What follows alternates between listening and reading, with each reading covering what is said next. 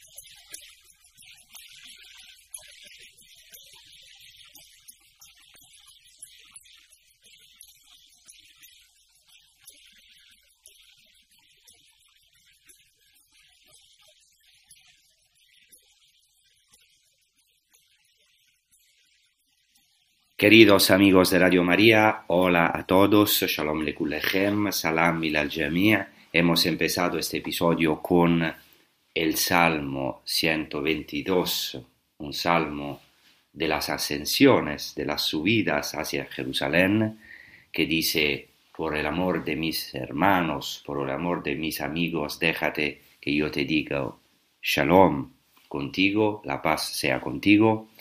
Eh, un canto que hemos escuchado en hebreo.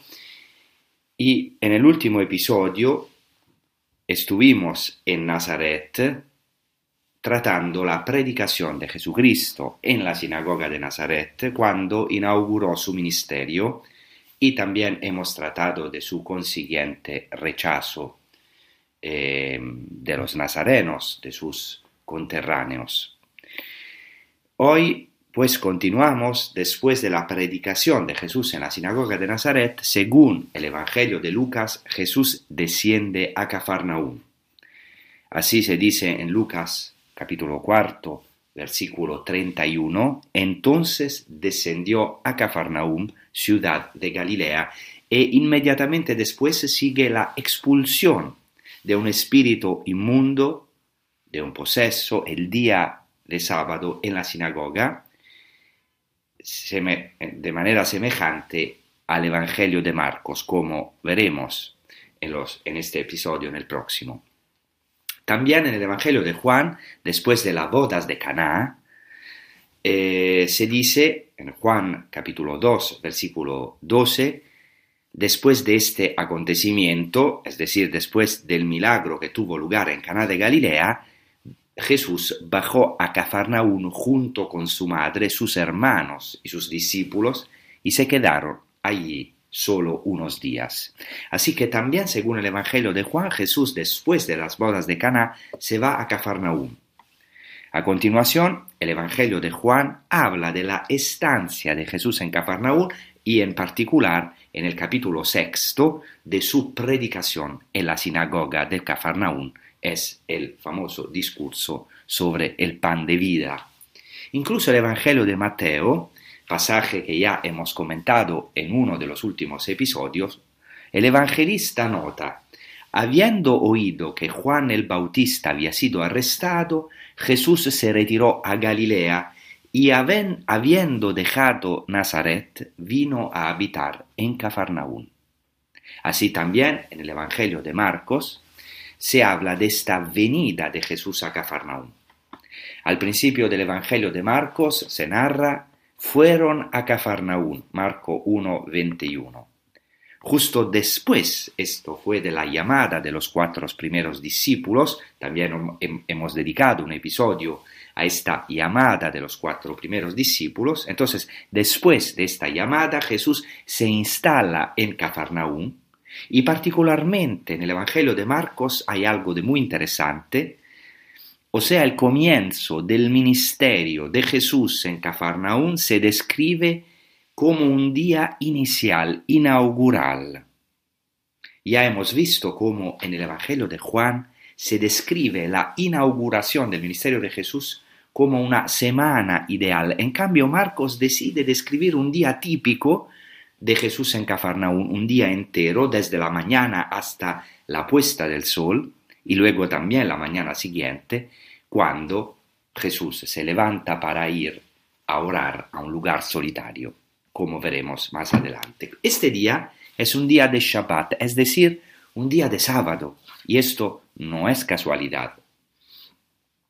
Y entonces hoy me gustaría que fuéramos juntos idealmente, espiritualmente, a Cafarnaúm, que se llama en el Evangelio de Mateo la ciudad de Jesús. En Mateo 9.1 se dice que Jesús subió a una barca y se fue a la otra orilla y llegó a su ciudad.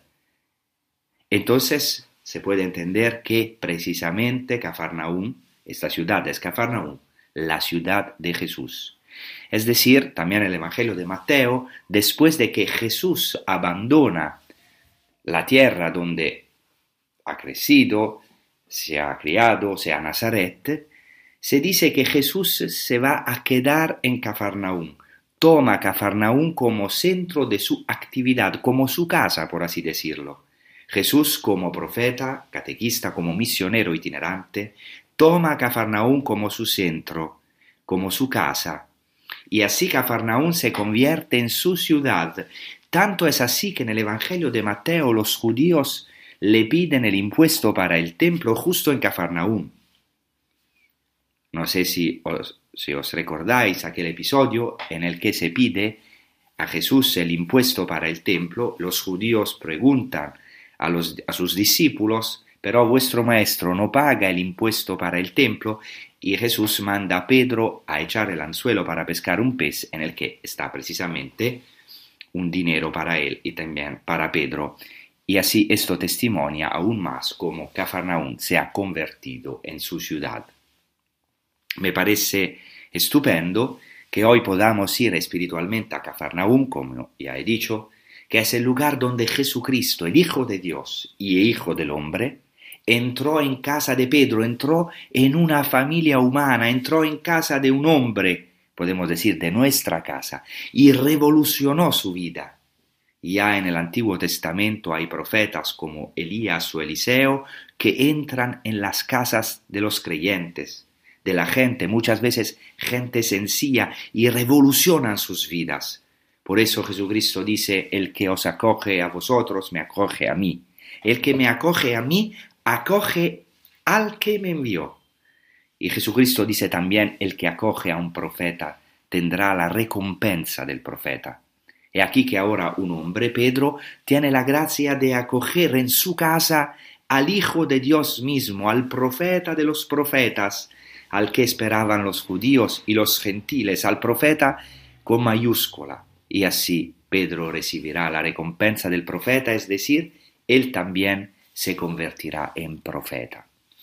Yo personalmente tuve la gracia de acoger en mi casa, o sea, mis padres han tenido la gracia de acoger en nuestra casa a un profeta que revolucionó nuestra vida, nuestra familia. Creo que algunos de los que me estáis escuchando también podríais tener la misma experiencia. Pensad cuánta más gracia fue para Pedro, para San Pedro, acoger a Jesucristo en su propia casa. Jesucristo entra en comunión de vida con sus discípulos, entra en la intimidad con ellos, entra hasta en las habitaciones más recónditas en la vida cotidiana de sus discípulos y desde allí comienza a enseñar, a dar una vida nueva a estos discípulos que como nosotros estaban cansados de su vieja vida, y los renueva desde dentro de sus casas, desde su vida cotidiana y desde allí comienza el ministerio. Y así Cafarnaún se convierte en el centro de la evangelización, se convierte en la domus ecclesiae por excelencia, es decir, la casa de la iglesia, el lugar donde se reúnen los discípulos, el lugar donde el Hijo de Dios manifiesta su gloria. Al fin y al cabo, eh, nosotros también estamos en un camino dinámico, pascual, constantemente bautismal, que todos estamos llamados a renovar de nuevo, estamos nosotros también llamados cada día a acoger a Jesucristo en nuestra casa, en lo más íntimo de nosotros mismos, para que Él nos renueve, nos renueve esta túnica nueva, túnica blanca, túnica de luz, que pueda brillar para los demás que pueda ser una luz de resurrección y de vida nueva para los demás. Y así Jesucristo hace con sus discípulos y lo hace con nosotros. Entra en la casa de los discípulos, entra en sus vidas con mucha paciencia, porque los evangelios subrayan a menudo no solo el rechazo de algunos dirigentes del pueblo, de algunos judíos, sino también la incomprensión por parte de los mismos discípulos, la incomprensión por parte de Pedro. Pero, sin embargo, Jesucristo continúa su obra. Ha entrado ya en la casa de Pedro y no saldrá nunca más.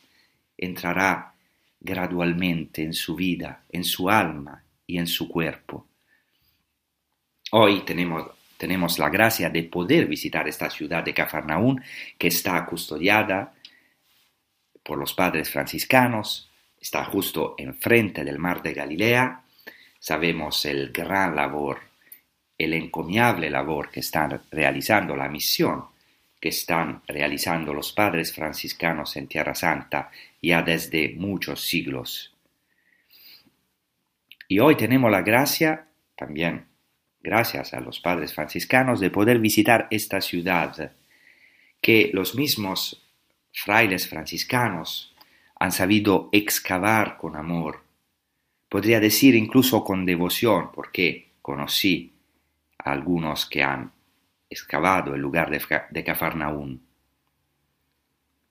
He conocido a los que han hecho estas excavaciones con amor a la humanidad de Cristo, hasta llegar, podemos decir, a un milagro arqueológico, eh, porque Cafarnaún, la casa de Pedro, también la sinagoga han sido una de las descubiertas arqueológicas más importantes, más entusiasmantes de todos los tiempos, podemos decir.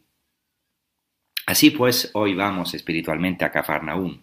Os recuerdo que en estos episodios tratamos de ir a las fuentes vivas del Evangelio, a las raíces, por lo que tratamos de escrutar este tesoro también desde el punto de vista humano, teniendo siempre presente que la palabra es siempre palabra divina, perfecta, pero que se manifestó en una lengua humana, en una cultura humana, en un ambiente humano y cultural que era precisamente el ambiente del siglo I en Tierra Santa, un ambiente judío, ciertamente influido por el helenismo.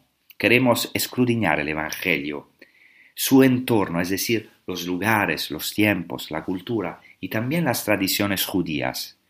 En estas transmisiones intentamos ir a las fuentes del Evangelio, a esas fuentes vivas para poder escrutar el trasfondo del Evangelio, es decir, profundizar en la lengua, en los lugares, en los tiempos, en la cultura, en las tradiciones judías, incluso la cultura griega ciertamente, por cuanto posible, y decía que esto está precisamente en consonancia con lo que nosotros vivimos en nuestra vida cristiana en la liturgia. ¿Por qué? Porque desde la humanidad de Jesucristo queremos llegar en la medida de lo posible para nosotros a conocer su identidad, su divinidad, que pasa siempre por su sagrada humanidad, exactamente como los santos sacramentos que son un signo visible de una realidad invisible. Así podemos decir que también la tierra, la tierra Santa, todo el trasfondo, es un sacramento con S minúscula, claramente. También el patriarca de Jerusalén, Monsignor Pizzaballa, le gusta definir a Tierra Santa como el octavo sacramento, entre comillas, claramente con la S minúscula. Pero hay algo de muy humano, de muy terreno, eh, que podemos eh, tocar porque la divinidad de Cristo se ha manifestado en su humanidad concreta, incluso los lugares, los tiempos y todo el trasfondo eh, de, de, su misión y después de los santos evangelios. Así que eh, vamos a, vayamos a Cafarnaún, creo que algunos de, vosotros han tenido esta gracia al menos una vez en su vida de poder visitar Cafarnaún, que es un lugar maravilloso, que se encuentra frente al lago y no es casualidad que Jesucristo eligiera justamente esta ciudad. Eh, comencemos en primer lugar por el significado profético del nombre Cafarnaún.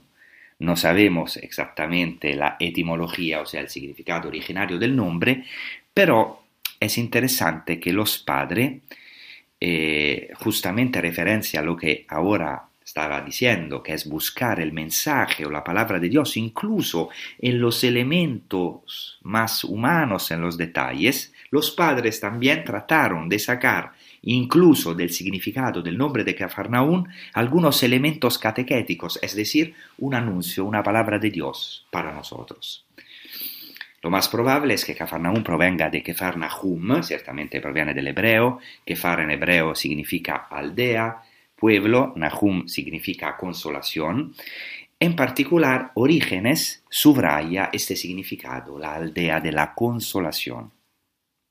En realidad, no era solo una aldea, era una verdadera ciudad, en griego se llama polis, en el Evangelio, en algunos evangelios, pero el nombre originario significa la aldea de la consolación. Nahum viene precisamente de una raíz hebrea, son las letras Nun Het Mem. Esta raíz quiere decir consolar. El Menachem en hebreo es el consolador y esto es muy, muy evocador. Fijaos que uno de los nombres del Mesías en la tradición judía en el Talmud es precisamente el Menachem, el consolador, traducido al griego como paráclitos, una palabra muy importante. Paráclito en griego, paráclitos quiere decir varias cosas y también el consolador, también el abogado, el intercesor, como sabemos. Según Orígenes, y podemos decir que esta es la etimología más probable, Cafarnaún se refiere a la aldea de la consolación, entonces. Y justamente es un nombre profético. Es la ciudad donde entró el consolador.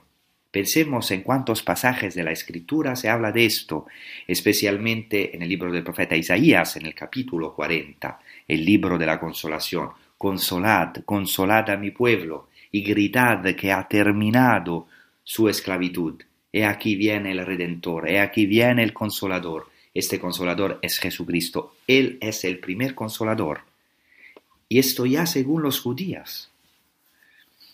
Por eso Jesucristo dice, os daré otro Menahem, os daré otro Paráclito, os daré otro Consolador, ya que el primer Consolador es el mismo y claramente os va, nos va a dejar un otro consolador que es el Espíritu Santo.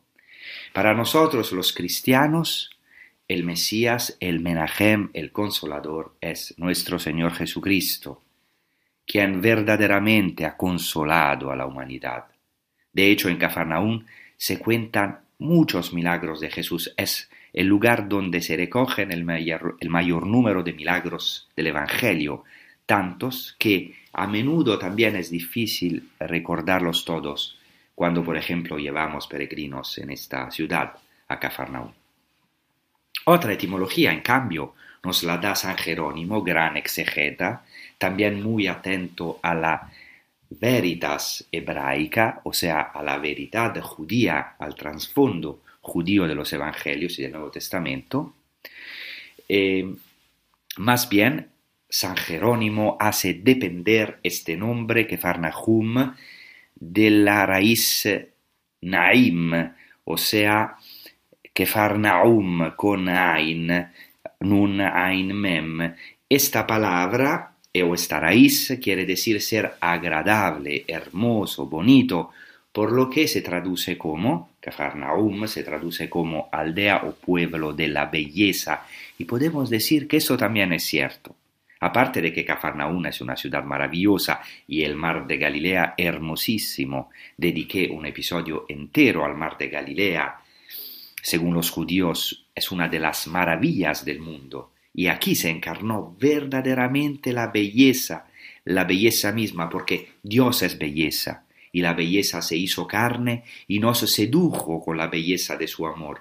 Y de hecho es también el lago de Galilea, Cafarnaún, son también los lugares de la llamada de los primeros discípulos, del primer amor.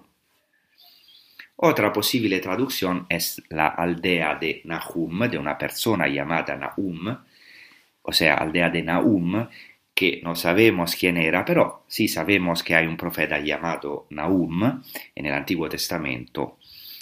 Eh, entonces, esto es otra posibilidad. Después es importante tener en cuenta, no es superfluo, que Cafarnaún en la época de Jesús, aunque no era una ciudad muy grande como Magdala, pero era una ciudad importante porque era un lugar estratégico es decir, una ciudad de frontera. De hecho, estaba en la frontera entre las dos tetrarquías de Herodes Antipas y su hermano Filipo, porque sabemos que en el año cuarto antes de Cristo, es decir, a la muerte de, del rey Herodes el Grande, los romanos habían dividido el reino que había sido antes unificado bajo Herodes el Grande, entonces los romanos habían dividido el reino en cuatro tetrarquías, precisamente en cuatro reinos. Y Cafarnaún estaba precisamente en la frontera entre el reino de Herodes Antipas y el reino de Filipo, cuya capital era Cesarea de Filipo, la actual Banias, donde Jesús llevó a sus discípulos y donde Pedro hizo su solemne profesión de fe, la confesión de Jesús como el Cristo, el Hijo de Dios vivo. Así que, en primer lugar, Cafarnaum era una ciudad fronteriza. Sabemos que había una aduana. Recordamos al publicano Mateo, también llamado Leví, sentado, eh, eh, eh contando los impuestos. De hecho, en esta ciudad de Cafarnaum se encontraron en las excavaciones muchísimas monedas. Y sabemos también del Evangelio que era el lugar de una guarnición militar porque sabemos por el Evangelio, por ejemplo, Mateo, el capítulo octavo, que vivía o había allá era de instancia un centurión. El centurión no vivía en las aldeas ni en todos, todas las ciudades de la tierra de Israel en aquella época, sino solo en las ciudades de cierta importancia. Entonces sabemos que en Cafarnaún había un centurión, porque era un, un lugar particularmente estratégico estaba situado justo en una vía que se llamaba Vía Maris. La Vía Maris era el camino que conectaba Egipto, pasando por Tierra Santa, por Palestina, para la costa, y llegaba hasta el Líbano, pero tenía una bifurcación al norte del lago de Galilea, justamente Cafarnaún, y por lo tanto también iba a Damasco, en Siria. Y de hecho también se, se ha encontrado en las excavaciones arqueológicas un hito de la época de Trajano, justo de la vía Maris, un camino entonces importantísimo que conectaba Egipto, Palestina, Líbano, los territorios de Tiro y Sidón, la Fenicia, la Fenicia y también Siria. Entonces, Cafarnaún era un lugar verdaderamente estratégico, un camino a Damasco. De hecho, sabemos de los evangelios que Jesús extendió su actividad, su misión, el mismo fue al territorio de Fenicia, a los territorios de Tiro y Sidón, y también las multitudes, las multitudes lo seguían del otro lado del Jordán, incluso de Siria venían a escucharlo. Debemos pensar que Cafarnaún está muy cerca de Damasco. Basta pensar que desde Cafarnaún hasta Damasco tenemos unos 120 kilómetros, mientras que de Cafarnaún a Jerusalén hay 180 kilómetros, así que para, es para dar una idea de cómo era una ciudad estratégica. Es decir, Jesucristo eligió esta ciudad porque era un lugar de tránsito, porque era un lugar al que podían acudir multitudes y desde él que eh, desde el cual él podía empezar a predicar, porque predicó en todas las aldeas de Galilea y luego obviamente también en Jerusalén, haciendo milagros, predicando, yendo de ciudad en ciudad, anunciando el reino de Dios. Entonces ahora queremos meditar, rezar sobre todo esto con un salmo que es El Señor es mi pastor, que habla precisamente de, del Señor como pastor, que lleva a su pueblo, que lleva a sus pueblos a aguas vivas y exactamente lo que se cumplió eh, a la letra, podemos decir, con la aparición de Jesucristo nuestro Señor en Galilea, el que lleva nosotros, las ovejas, el rebaño, a las aguas vivas, no solamente del lago de Galilea, sino de la vida eterna. Entonces, rezamos escuchando este salmo.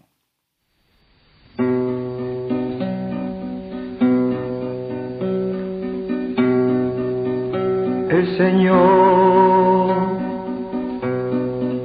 es mi pastor nada me falta.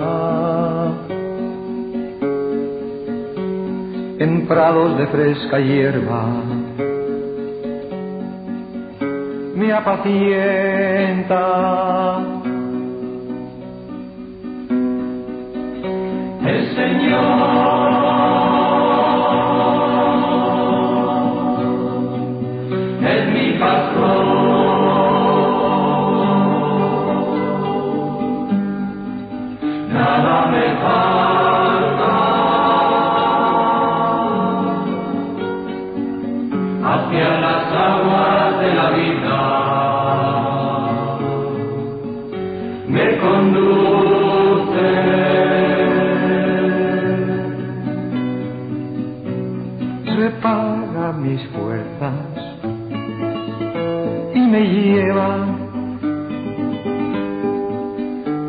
Camino del amor. Repara mis fuerzas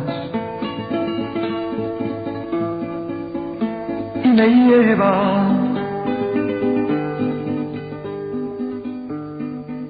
para la gloria de su nombre.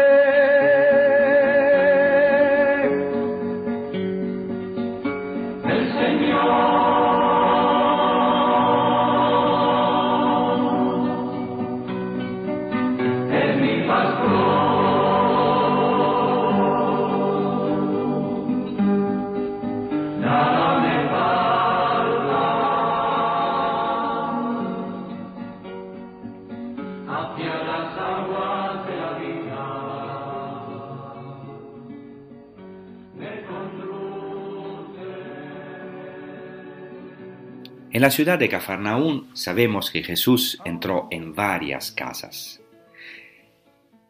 Ciertamente Jesús entró en muchas casas, pero el Evangelio destaca sobre todo la entrada de Jesús en cuatro lugares, en tres casas y en la sinagoga.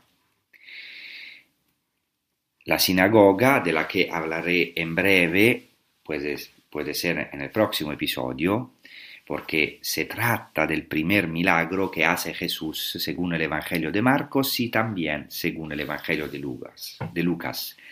Y luego Jesús entra principal- principalmente en tres casas, la casa de Pedro, la casa, la casa de Jairo, que es el jefe de la sinagoga, y la casa de Mateo o Leví, el publicano. No sabemos hoy dónde están las dos casas de Mateo y de Jairo, mientras que la casa de Pedro ha sido identificada porque los primeros cristianos, podemos decir judíos cristianos, la identificaron, la guardaron con amor. Y luego la misma peregrina española Egeria o Eteria habla de ella. Dice que en su tiempo todavía era una domus ecclesiae, o sea, una, una iglesia pero en una casa. Y luego el anónimo de Piacenza nos dice que allí se había construido una basílica, por lo que el lugar ha sido identificado desde la antigüedad. Es un lugar muy evocador y también quizás uno de los lugares más bellos, más santos de Tierra Santa, por así decirlo. También uno de los lugares que más impresionan a los peregrinos y creo que los que han tenido la gracia de peregrinar a Cafarnaún pueden confirmarlo con certeza. Es el lugar, como ya he dicho, donde habita Jesús, porque Cafarnaún se ha convertido en su ciudad. Entonces es una imagen, una, imagen de lo que somos nosotros. Nosotros también, por la gracia de, de Dios, podemos ser convertidos en casa de Jesucristo, en templo vivo de Dios. En el Evangelio de Mateo se dice en griego kai elthen eistan idian polin, es decir, Jesús vino a su ciudad. Y, sin embargo, como ya he dicho, es el lugar donde Jesús realizó la mayoría de sus milagros, donde predicó, también en la sinagoga, pero es también la ciudad donde muchos no se convirtieron, tanto que Jesús tiene que decir, y tú, Capernaum, Cafarnaum, al cielo serás elevada, no, al infierno caerás. Entonces Cafarnaum es también el misterio, el misterio del Hijo de Dios que vive entre los hombres y también del rechazo, del rechazo de la falta de fe. Entonces es una imagen también de lo que somos nosotros. Ahora me gustaría empezar con vosotros el comentario del Evangelio de Marcos en el capítulo primero.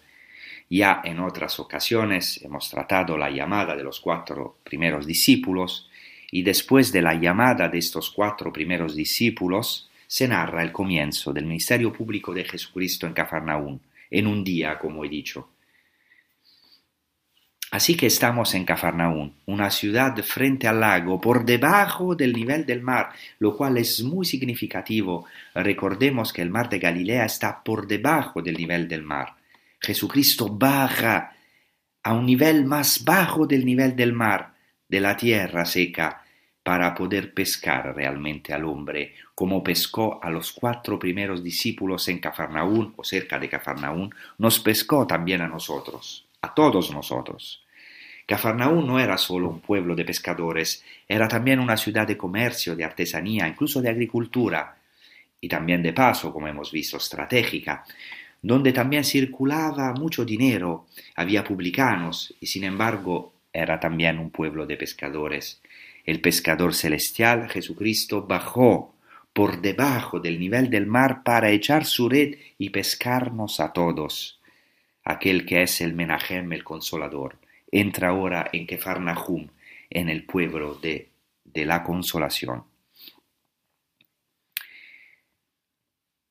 Entonces estamos en el día de Shabbat en Cafarnaún. El Shabbat, el sábado, es un día santo de descanso para los judíos y empieza el Evangelio con Jesús el día de sábado, de Shabbat, en el lugar santo para los judíos que es la sinagoga.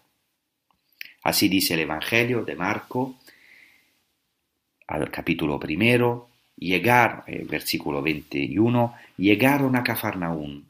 Aquí tenemos un plural porque Jesús llamó ya a los cuatro primeros discípulos, como he mencionado antes.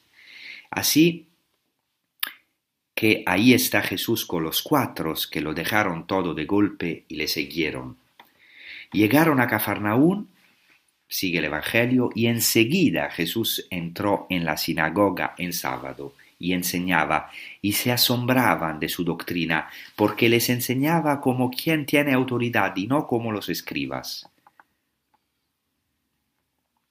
Jesús entonces entra en Cafarnaún e inmediatamente en el día de sábado entra en la sinagoga. Hay como un enfoque progresivo. Jesús está en el camino, ha llamado a los cuatro, entra en Cafarnaún e inmediatamente el sábado entra en la sinagoga. Quisiera detenerme un momentito en este adverbio inmediatamente, euthus en griego. Que en el Evangelio de Marcos es impresionante, ya que se repite muchas veces, sobre todo en este primer capítulo de Marcos, muchas veces se dice inmediatamente Jesús, Jesús tiene prisa por ir a pescar al hombre, tiene prisa por salvar al hombre, por consolarlo, por curar sus heridas. Jesús es el que pasa, es verdad que es el que habita, habita en Cafarnaún con el hombre, pero también es siempre el que pasa, curando a todos los que tenían alguna enfermedad, anunciando el Evangelio del Reino. Jesús es el itinerante por excelencia. Jesús es Dios mismo que pasa. Y dice el Evangelio, y enseguida entraron en Cafarnaún e inmediatamente el sábado. No se puede pasar demasiado so, mm, rápidamente sobre este detalle, como a veces se hace. Me parece que a veces los comentarios, eh, o sea, pasamos un poquito rápidamente sobre este detalle, detalle del sábado. Eh, normalmente en los comentarios se dice, y es verdad, que, que, este es el día típico de Jesús en Cafarnaún, en el Evangelio de Marcos. Pero cuidado, sobre esto hay que insistir, no se insiste demasiado, que no es un día cualquiera, es el sábado, el sábado de Jesús. No es casualidad que el Evangelio de Marcos comience con un día de sábado. Allí donde se terminó la obra de la creación, el Antiguo Testamento, en el libro del Génesis, la obra de la creación termina con el descanso, con el día de descanso. Y esto puede parecer paradójico. Dios hace una obra, Dios crea, ¿Y cuál es la culminación de su obra de la creación? ¿Cuál es la culminación de la poderosa obra y actividad de Dios? Es el descanso, es el Shabbat, no solo del hombre, sino también de Dios, y Dios descansó el séptimo día, como dice el relato de la creación. El séptimo día es entonces el día del descanso de Dios y por tanto del descanso del hombre. Así lo dice el Génesis, al capítulo segundo, así se completaron los cielos y la tierra y todos sus ejércitos. Entonces Dios en el séptimo día terminó la obra que había hecho y cesó, es decir, descansó en el séptimo día de toda su obra. Es una frase bastante paradójica, es decir, terminó la obra. ¿Y qué es esto de terminar la obra que había hecho? Es el descanso es la culminación de la obra de Dios y de la obra del hombre, el descanso. Así se dice que Dios bendijo el séptimo día y lo consagró. Es un día consagrado al Señor. En el libro del Génesis dice así, y luego también a lo largo de la Torá, hay tiempos y lugares consagrados a Dios. El sábado es el día consagrado por excelencia. Y justamente aquí en Cafarnaún, en este día de sábado, Jesús comienza su ministerio en, Cafarnaún y hay todo un día descrito como sábado, desde la liturgia sinagogal, que todavía hoy tiene lugar en la mañana del sábado, hasta la noche. No es casualidad que el primer día de Jesucristo sea un sábado, que el comienzo de su misterio sea un sábado. Allí donde había terminado la creación comienza la nueva creación, la redención de Jesucristo. Entonces no se puede pasar tan rápido por alto este detalle, porque para el pueblo judío el Shabbat, el día de sábado, es la reina, es la novia de Israel, y esto desde la antigüedad. Todos los días de la semana eh, son masculinos. En, eh, en, en hebreo solamente el Shabbat es femenino, es la reina y todos los días de la semana están en pares, son seis días en pares, solo el séptimo día está solo. Podríamos decir que está solo y es, femenino ¿por qué? Porque espera a un novio. Por supuesto este novio es el pueblo de Israel, pero sobre todo es el Mesías, aquel que es el ápice o la flor de todo el pueblo de Israel. El propio término Shabbat viene de la raíz Shin Bet Tav, que es la raíz que quiere decir no solamente descansar, sino también sentarse, morar. Ahora Dios en Jesucristo descansa en Cafarnaún. Vive, habita en Cafarnaún. La Shevet quiere decir habitar, sentarse. Y de hecho, Yeshiva en hebreo significa el lugar donde uno estudia la Torah, donde uno se sienta, donde uno mora, donde uno descansa, porque escudriñar la Torah significa morar con Dios, sentarse, descansar en Dios. Y aquí que Jesús mora, podríamos decir que Él es el Shabbat, Él es el reino de los cielos, Él es el séptimo día. Sabemos que en el Shabbat todos los judíos deben descansar porque han sido liberados, porque eran esclavos en la tierra de Egipto. Y esto se enfatiza mucho en el Decálogo, particularmente en el libro del Deuteronomio. Los judíos eran esclavos, pero en este día han sido liberados, por lo que no deben ser esclavos del trabajo, de su propia actividad. Son un pueblo libre, son un pueblo diferente a todos los demás pueblos, son un pueblo consagrado, y en este tiempo consagrado al Señor deben recordar esta consagración, esta liberación de la esclavitud. Aquí, este es el día de la liberación, el día del descanso, el día el día del sábado para los judíos es el día en que se huele este perfume del reino de Dios. De hecho, todo judío sabe que el Shabbat tiene un perfume. Y de hecho, en la noche, cuando termina el Shabbat, los judíos tienen que oler algunos aromas en una liturgia llamada Havdalat Shabbat, que quiere decir la separación del sábado. Tienen que hueler estos aromas para tomar esta fragancia del sábado y llevarla a lo largo de la semana. Es maravilloso porque para los judíos el Shabbat es una delicia, es una alegría y de hecho se, habla del Oneg Shabbat, de la delicia del sábado. Incluso la escritura dice eh, que hay que llamar al Shabbat, al sábado, una delicia. Quisiera decir una cosa aquí para que entiendan que no son cosas cristianizadas, por así decirlo.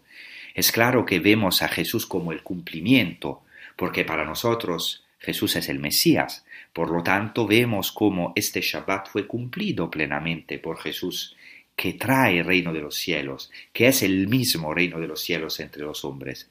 Pero quisiera mostrarles cómo verdaderamente los judíos tienen una gran riqueza en la profundización de este día, de este Shabbat. Por eso quisiera leerles lo que dice Joseph Caro un gran rabino, José Caro, sobre el Shabbat. él escribió una obra maravillosa llamada Shulchan Aruch, que significa precisamente mesa preparada, mesa puesta, en la que habla de todas las leyes y prácticas que, según la tradición sefardí, la tradición de los judíos que vinieron originariamente de España, que todos los judíos deben observar. Así Joseph Caro dice, el Shabbat, el sábado, simboliza el reino de santidad, es decir, el reino de Dios que es santo. El reino de Dios es santo, pero también el sábado simboliza este reino. Dice, el Shabbat simboliza el reino de santidad y el fin de las fuerzas del mal. Satanás hace un último asalto en este día para causar discordia, es decir, el Shabbat es el símbolo del reino de los cielos, de la santidad de Dios, pero también del fin de las fuerzas del mal, de la victoria sobre Satanás que intenta, como dicen los judíos, en la misma víspera del Shabbat, dar un último asalto para provocar la discordia. De hecho, los judíos dicen que en la víspera de la fiesta está Satanás que intenta arruinar la fiesta, hacernos reñir, hacernos entrar en la fiesta con un espíritu impuro. Satanás trata de arruinar los momentos más hermosos de nuestra vida. Y esto, queridos hermanos, cuántas veces lo, hemos experimentado en nuestra vida, que precisamente en los momentos más hermosos o en las fiestas más lindas que Dios nos regala, el demonio trata de arruinar, de sembrar discordia, de provocar el mal, como dicen los judíos, de provocar la discordia. Esto es muy importante porque tiene una relación con el Evangelio. ¿Por qué? Porque no por casualidad Jesucristo echa un demonio en el día de sábado en la sinagoga. En la sinagoga.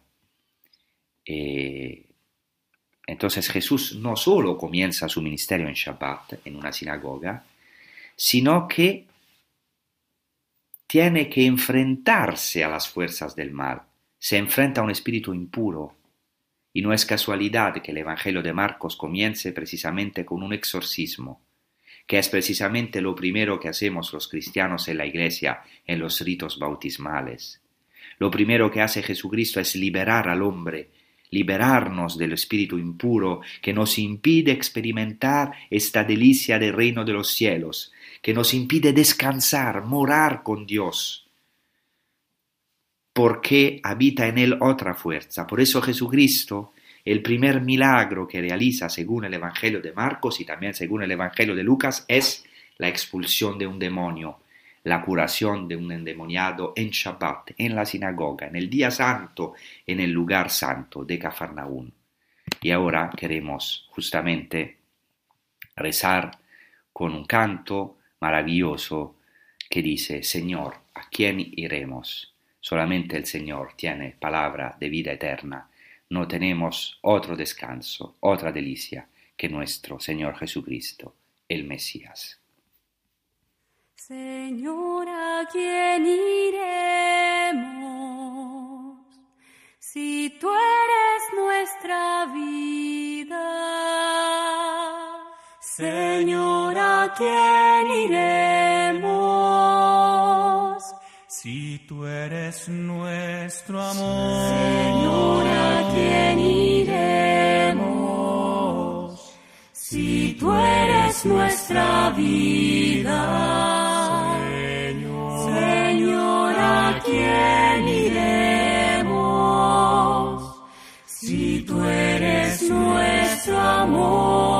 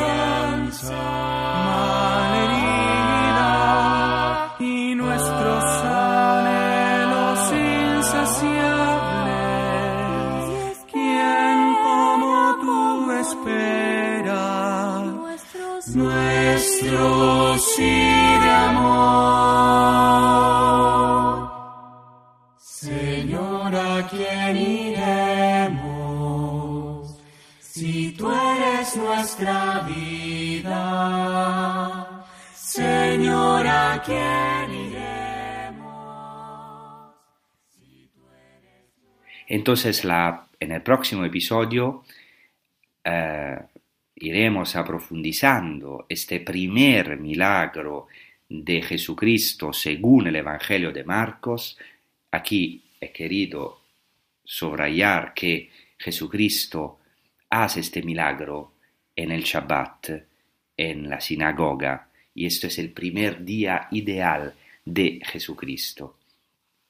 Entonces, eh, es algo de maravilloso, algo de maravilloso porque, eh, como ya he dicho, eh, no solamente Jesucristo comienza su ministerio en Shabbat, sino que eh, es vencedor sobre las fuerzas del mal, sobre el demonio que siempre intenta arruinar nuestra vida.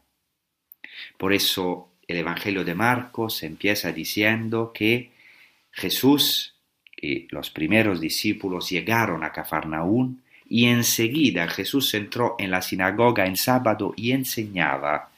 Jesús en sábado en la sinagoga por la mañana, por tanto en la liturgia sinagogal, enseña. Y aquí inmediatamente Jesús es presentado como el maestro por excelencia, como el rabino por excelencia, como el que enseña en la sinagoga. Y añade el Evangelio y se asombraban de su enseñanza. Este verbo es muy importante. Una de las actividades más importantes de Jesucristo, una de las misiones más importantes, es precisamente didaskein, enseñar. Él es el didáscalos. Y dice literalmente el Evangelio, y se asombraban de su didaje, de su enseñanza. Dice el griego, engar didaskon aftusos exusian echon, kai ujos oigramateis, y les enseñaba como uno que tiene exusía, como uno que tiene autoridad, y no como los escribas.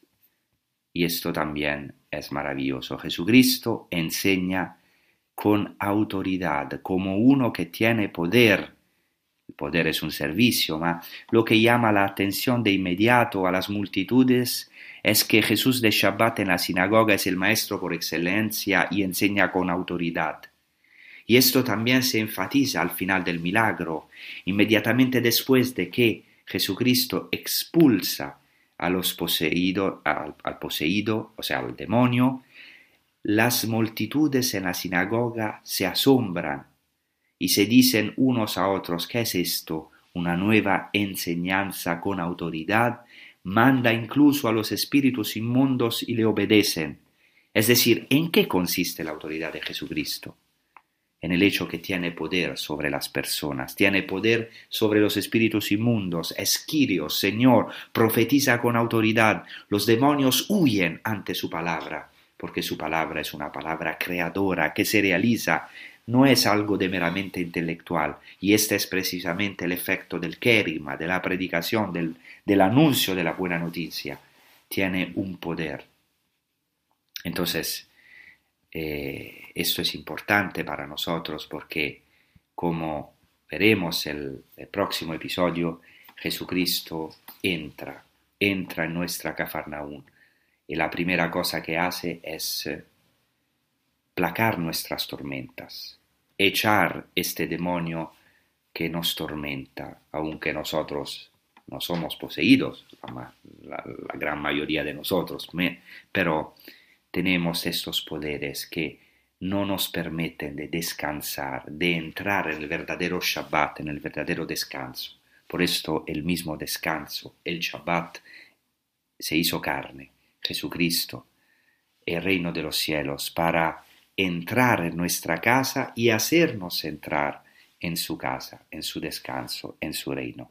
Alegrámonos porque Jesucristo es Kyrios, es el Señor, no es indiferente a nuestros problemas, a nuestros sufrimientos.